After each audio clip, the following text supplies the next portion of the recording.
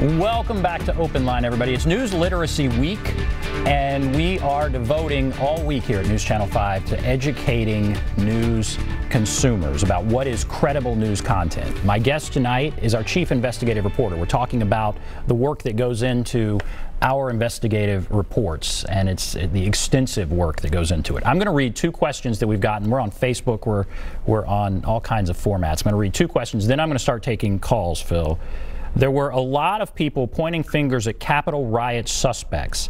How did you know when to report their names? Was it when they were arrested?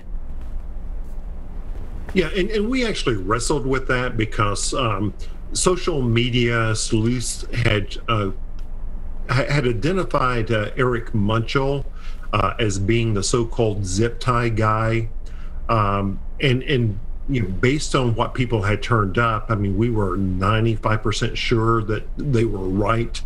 Uh, but we had not had a chance to reach out to him and to give him a chance to respond. And so we just sort of held our fire until he was arrested. Uh, if we'd been able to reach him, and, and, and, our producer actually went out to his house to try to uh, get confirmation. Uh, but you know, the last thing we want to do is to find someone who looks like the, the a Capitol riot suspect and and name that person without giving them a chance to respond. Uh, and and so we actually did not uh, do a story naming that person until he had been had been arrested. Yes, until they're arrested. Okay. One other quick but, question, then then I'm going to start taking phone calls. And and we were one. we actually had spent a, a day or so watching his house, um, and um, and you know to see if we we could see him coming in or out to try to give him a chance to respond. What do you do when an elected official or official spokesperson says on social media that what you reported is not true? You know, I, I, I think we have uh, a, a responsibility to, to be as transparent as possible.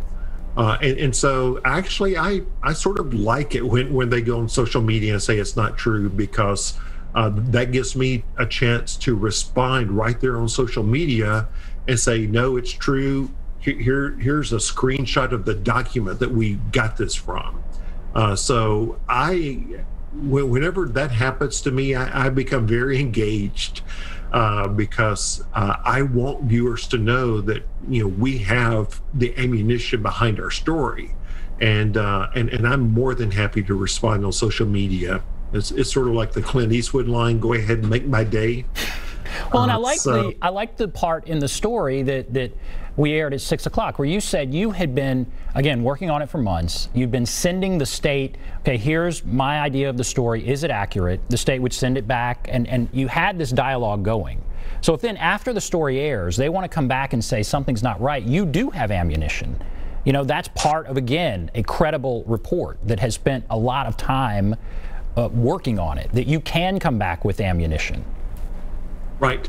Uh, because you know, again, part of our job is if you're going to report on someone, allegations of misspending, allegations of corruption, what, whatever it, you know, it may be, the final step in that uh, is to give the person a chance to respond, because there have been times that I think that I understand the situation. I reach out to the subject and, and they say no no you, you misunderstood something. And we have walked you know, i think all of us probably have walked away from stories that we thought were stories but upon you know further testing of you know the the hypotheses you know we we realize okay it's not what we thought it was. And and so we may sometimes spend days or even weeks working on a story that never makes it to the air because That's exactly in right. the end, if we're not confident with the story, if if even perhaps the subject has a a worthy explanation, we'll walk away from that story rather than putting it on the air. That's why it's so important to get their side, and why a tough question can be. Um, it can be a good thing for, for people sometimes. Just just tell us what's going on, and sometimes it does shed light on things, and, and, and you do have to you walk away from the story. Um, I tell people I'm proud of the stories I've done. I'm proud of the stories that I haven't done, that I haven't felt the need to force a story. Um, you know, that the station here does give us time to work on it, and if it's not there, we don't have to do it. Right, exactly. And, and that's happened so many times. Uh, and, and that's the reason, you know, sometimes people will see us uh, approaching public, public officials, especially uh, on the street or coming in and out of a committee meeting and you know putting a microphone in the person's face. And the reason that happens is that we may have tried to get answers to our questions our our you know inquiries were ignored and we feel like we have to make one last effort to say you know here's what we're reporting. What's your response? I want viewers to know that I did everything I could to give the person a chance to respond. Absolutely. All right, let's go to let's go to some calls. Anne. Hello, Anne. Uh, hi. Yes. Go right ahead. I'd like to thank you for doing this show. I can remember the first time I did my first protest on the courthouse steps in 1978. And through the years, I learned to rely on Larry Brinton for regular, consistent, reliable news.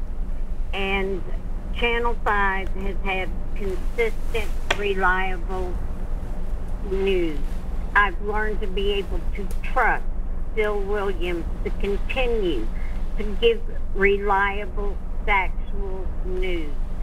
I can't do that with our pre- previous president and what came out of the White House. But I knew when I heard Phil Williams was doing an investigative piece, I was going to get the truth. And in this day and age, that is something that we don't get to have anymore. And I just wanted to say thank you because I have been around since 1978 and I've seen Channel 5 expand. And I know that it, I'm not alone in wanting to thank you for your reliability because that is scarce these days. And we do appreciate everything you do. All right. Put your stories together. Well, Anne, thank so you. That's what I wanted to say. Well, there. Anne wanted to thank you. She go, she remembers Larry Brinton, Street Talk. Um, yeah, yeah. Thank you, Anne, so much. That, that, means a lot to us. Thank you. Let's. I'm gonna. We have so many calls. I'm just gonna keep going. Uh, Phil, a different Phil. Phil, are you there? Hello, Phil. You may not know. I'm gonna go to Mark. Hello, Mark. Yes, I'm go, here. Go right ahead. All right, thank you. Um, enjoying, enjoying this and learning so much. But one of the things that, that I had a question about in this process is I, I like the fact that you showed the the group of, of how you guys put the show together. And I've always known that was the case in one sense, but it's been wonderful.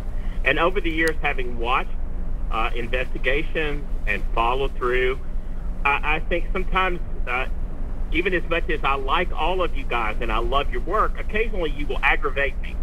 And I think that means you're doing a good job. Um, and I always think that the truth will stand at the end.